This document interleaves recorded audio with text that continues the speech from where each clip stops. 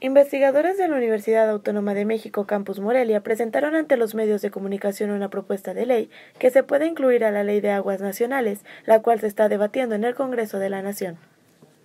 Esta propuesta busca que se normatice la extracción de agua en todo el país, ya que la ley actual que no se ha modificado desde su creación en 1912 no contempla el contenido que existe en el país de agua subterránea, la cual representa el 97% del total en el territorio nacional. Así lo dio a conocer la investigadora Carmen Carmona, quien aseguró que al ser este un bien común, compete a todos los ciudadanos conocer la procedencia del vital líquido. Eso se tiene que hacer una nueva gestión del agua en donde además participen, tal y como establece el artículo cuarto constitucional, los estados y municipios, que en estos momentos no tienen ninguna injerencia, no tienen ni siquiera representatividad en la autoridad del agua, que es la Comisión Nacional del Agua. Entonces, la propuesta está hecha en el sentido de que en el caso del respeto al derecho humano al agua, se tienen que establecer nuevos esquemas de gestión, tanto para el agua superficial, que es el esquema de cuencas, como ahora el hecho de tener algunas reglas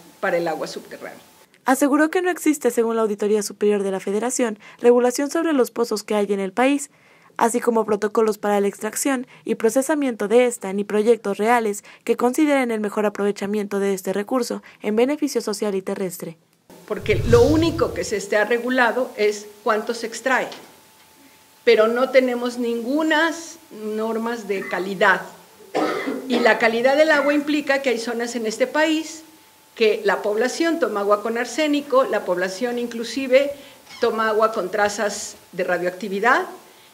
y hay documentados casos que nos llevan desde el punto de vista de la salud y ahora sí que violentando el derecho humano a la salud y el esquema de salubridad general constitucional, en el sentido de que no sabemos cuál es la calidad del agua que tomamos y no estamos cruzando cifras respecto de ello. Y, tenemos honrosos primeros lugares, por ejemplo, en el caso de Veracruz, Tierra Blanca, es el lugar en el mundo en donde más diálisis se hace, porque la calidad del agua hace que, que las personas se enfermen del riñón. Y así podemos ir, en, hay, casos dramáticos en Tlaxcala, en Guanajuato, porque no sabemos la calidad del agua que estamos consumiendo. Finalmente, mencionó que la privatización del agua por parte de empresas embotelladoras nacionales y extranjeras representan un daño a los mantos acuíferos, motivo por el cual se requiere la participación ciudadana en defensa de este recurso, ya que más allá de la disponibilidad de